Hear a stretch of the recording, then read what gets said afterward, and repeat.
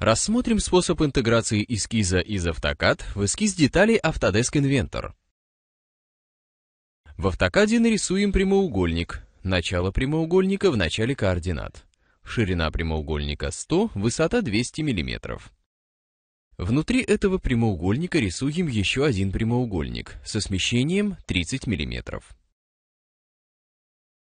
Ширина этого прямоугольника 40 мм, высота 140 Проставим все необходимые размеры.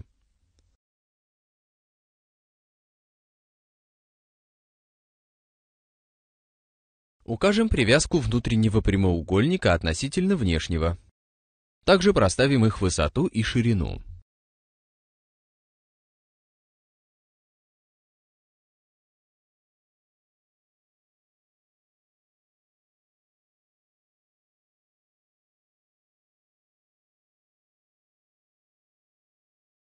Сохраним данный чертеж в папке проекта, который активен в Autodesk Inventor.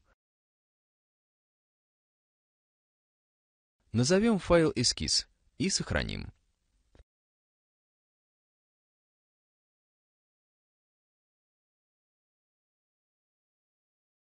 Закроем чертеж, перейдем к Inventor.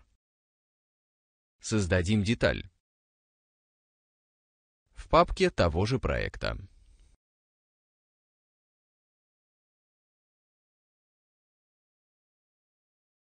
На панели «Вставить» выберем функцию «Вставить из AutoCAD».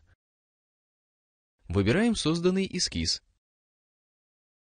Нажимаем «Открыть». Открывается окно для настройки параметров. Выберем «Указать единицы», укажем миллиметры. Поставим галочки зависимости в конечных точках и применить геометрические зависимости для автоматического наложения зависимостей. Нажмем «Готово». В эскиз вставляется файл из AutoCAD. Как видим, размеры из AutoCAD преобразованы в размеры Inventor. Начало координат в AutoCAD совпадает с началом координат эскиза Inventor. Как видим, необходимо еще три размера или зависимости для полного определения эскиза. Сделаем автоматическое наложение размеров и зависимостей. Применим и нажмем «Готово». Эскиз полностью определен. Линии приобрели синий цвет. Принимаем эскиз. Теперь его можно использовать для дальнейших операций. Например, выполним выдавливание. Выберем внешний контур эскиза. Введем значение выдавливания 40 мм.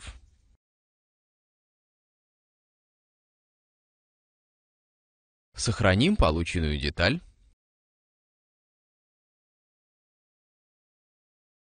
И закроем ее.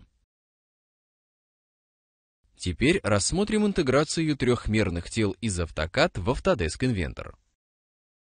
В AutoCAD создадим новую деталь. Переключим интерфейс на 3D-моделирование.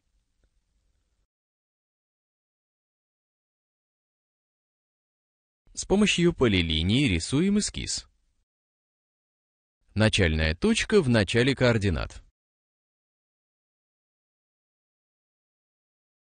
Нарисуем эскиз вала. Проведем вертикальный отрезок 50 мм, затем горизонтальный 10, затем 10 вниз, вправо 50 мм, затем еще 15 вниз, 60 вправо и 25 вниз. Замкнем эскиз. Далее проставим все необходимые размеры.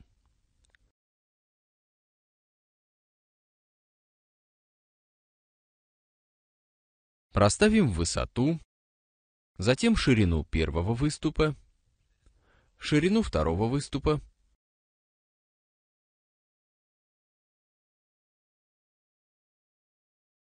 полную ширину детали, равную 120 мм.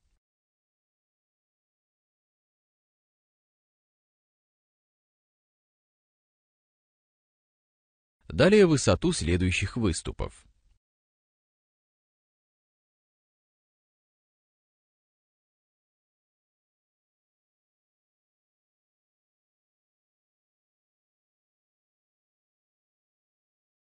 После простановки всех необходимых размеров переключимся на вкладку «Тело» и выполним вращение. Выберем созданный эскиз. Нажимаем Enter и выбираем точки оси вращения. Далее введем угол вращения 180 градусов.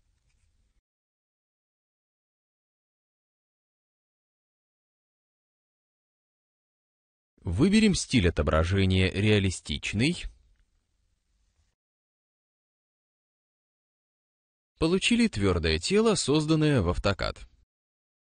Сохраним данную деталь. Назовем ее ось. Сохраняем в папку текущего проекта Autodesk Inventor.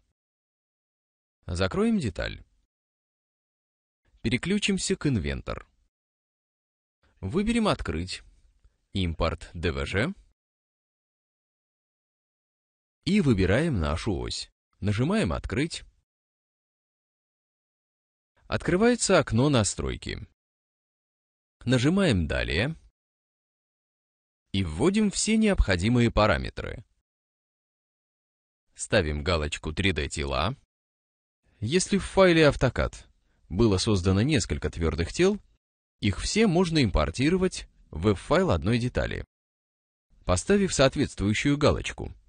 Также поставим галочки поверхности и каркасы, импортированные 2D-объекты, выберем каркасы проекта в двухмерный эскиз, укажем единицы миллиметра, остальные настройки можно оставить без изменений. Нажмем «Готово». Создаются два файла. В один из них импортируется эскиз, Во вторую деталь импортируется твердое тело, в данном случае ось.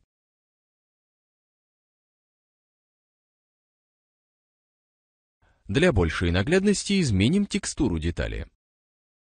Выберем зеленый море. Данное тело импортировано как базовое тело 1. Его эскиз отредактировать мы не сможем. Но можно выполнять дальнейшее редактирование детали. Например, с помощью функции смещения граней удлиним данную ось. С помощью точного ввода введем значение удлинения 35 мм и нажмем ОК.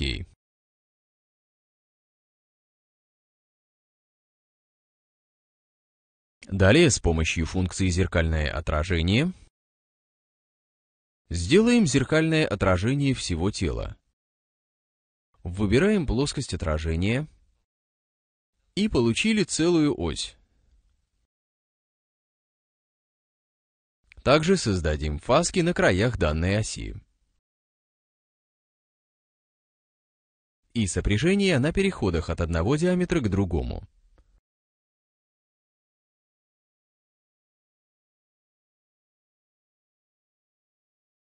Сохраним данную деталь.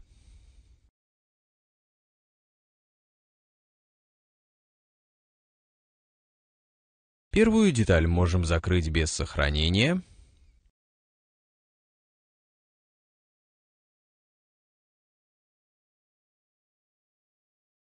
Зайдем в свойства «Инвентор».